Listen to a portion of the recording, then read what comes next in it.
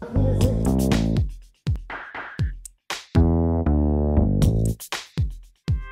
tenemos 30 personas a tiempo completo y el resto son freelancers que trabajan fuera de la oficina. Cada freelancer tiene su especialización, la mayoría ah, trabajan de su casa.